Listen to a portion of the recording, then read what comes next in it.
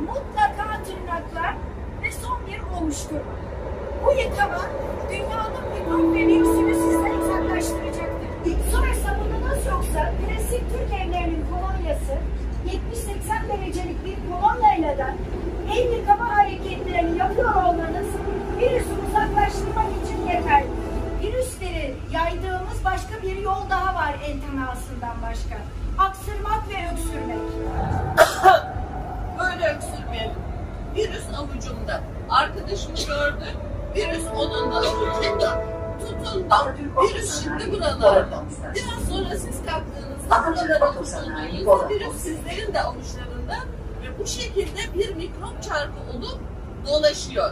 En sevdiklerimize bile gidebilir bu yolda. O halde nasıl hapşıralım? Şöyle. Yani kolumuzun içine, dirseğimizin içine öksürelim. Ateşli ve hastaysanız lütfen 3-5 gün evde istirahat edin. İstirahat dışında bilin ki bunu giderecek mucize bir çorba, mucize bir vitamin, mucize bir yiyecek yok. Mucize bir gargara, mucize bir burun spreyi de yok. Her işin başı sağlık, sağlığın başı el temizliği ve aksırıp öksürürken kapanma. Virüsle mücadelenin en önemli ayakları bunlar.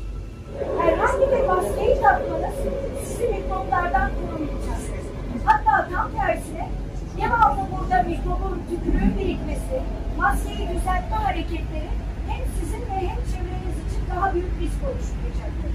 Ama eğer hastasınız, ateşlisiniz, hastaneye gidiyorsunuz, lütfen maskenizi takın, çevrenize yaymamak için etkili olur. Kendimizi korumak aslında birbirimizi korumakla mümkün. Yani biz İstanbul'da hemşehriler olarak birbirimizi korursak kendimiz de korunmuş olacağız. Bu da korona için çok etkili bir yöntem. Teşekkürler. Sağlıklı yolculuklar. En çok indirilen haber uygulaması En Son Haber, Apple Store ve Google Play Store'da. Hemen indirin, haberiniz olsun. ensonhaber.com